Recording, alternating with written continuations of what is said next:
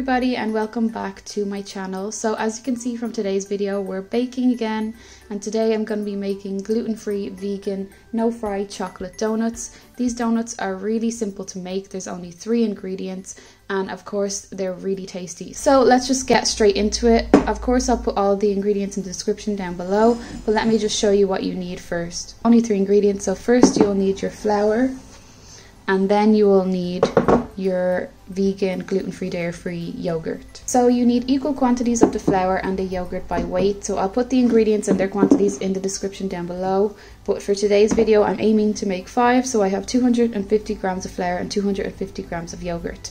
And what you want to do is get your big bowl and literally you just want to add the two together. So maybe start with the flour, get that all in there. And then add in the yogurt. And then once they're in together, you just want to start to mix. So once you have the two together, you just start to mix it and keep mixing until it forms together into a dough. So you want to make sure that you really mix your flour and your yogurt together to get it into this nice kind of doughy mixture here. I've just mixed mine for about five minutes and this is how it looks. So we're going to move on to the next step. So here's the donut tray that I have picked up. It's a silicone one, which I think are really good. I'm going to aim for about five. And also, if you want to enter my giveaway for a chance to win one of these, just like this video, subscribe to my channel and comment down below. So basically what we want to do is we want to put this into here. So just get a bit of flour and put it on your hands so it doesn't stick to them. And then what you're going to do is take out equal amounts of how many donuts you want. So I'm going to go for five. So I'm going to take out five equal sized balls of dough. So I'm gonna want about 90 grams of each ball of dough. So I'm just gonna weigh that out first. Okay, that's perfect at 90 grams. And then literally what you're gonna do is just roll it on your hands quickly like this until you get it into a nice dough ball. And then when you have your dough ball, you want to mold it kind of into the shape of one of these. So you're just gonna stretch it out a little bit like this until it kind of looks like it could fit all around this.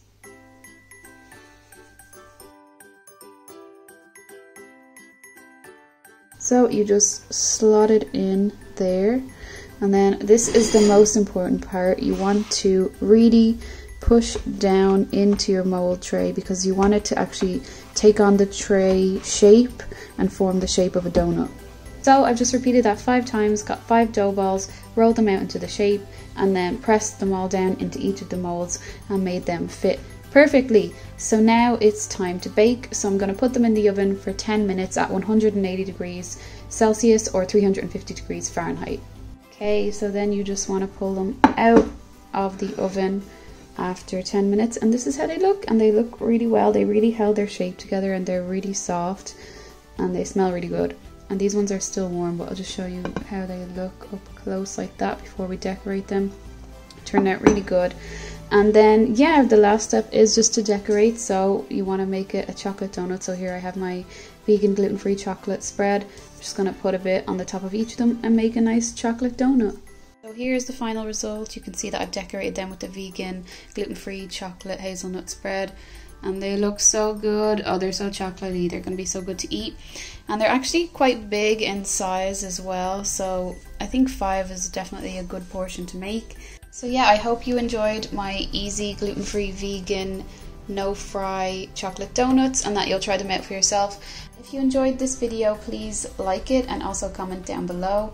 And please subscribe to my channel if you're interested in vegan, gluten-free baking and all of the other different gluten-free videos that I have and also my diabetes videos. So thanks so much for your support and I hope you'll enjoy these chocolate donuts. One final thing, if you want to be in for a chance to win your own silicone tray, like this orange one and this red one here, just comment down below and you'll be in a chance for the giveaway and I'll announce that in the next video.